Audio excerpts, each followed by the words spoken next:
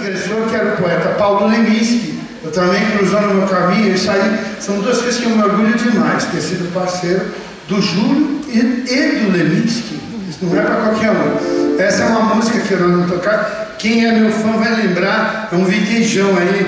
Eu me vestia de, de São Jorge, num especial lá da Pirlim Pimpim 2. Era uma diluição do Pirlim Pimpim 1, com certeza.